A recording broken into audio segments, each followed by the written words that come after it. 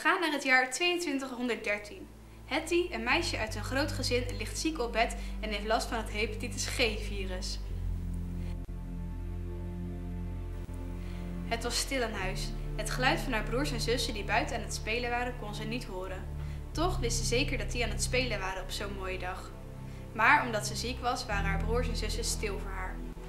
De eerste avonden kwam steeds die vervelende koorts terug. Later ging het steeds een beetje beter. Er stond een schot voor de deur. Op een dag zag ze het hoofd van haar broer Arnoud daarboven uitkijken. Daarna kwamen Hanna en Bertha, haar zussen.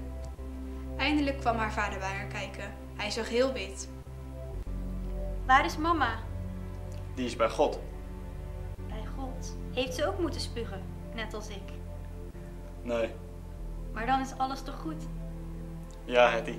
Dat haar moeder nu bij God was, gaf haar het idee dat haar moeder iets heel goeds was overkomen.